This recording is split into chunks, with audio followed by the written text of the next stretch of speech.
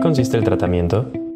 El tratamiento del lupus, eh, lo principal es modular esta respuesta eh, autoinmune que está generando el cuerpo. Hay varias modalidades de tratamiento. Eh, en primer lugar, bueno, los pacientes con lupus hemos notado que la exposición al sol puede afectar o activar la enfermedad. Entonces son pacientes que deben de usar bloqueador solar constantemente. Y lo otro que usamos son fármacos inmunomoduladores que le llamamos, hay diferentes tipos de estos fármacos. Dependiendo de la manifestación y el órgano que se esté afectando, utilizamos alguno de ellos. Eh, algunos de los que usamos son el plaquenil o hidroxicloroquina, el metotrexate, la ciclofosfamida y cortisona.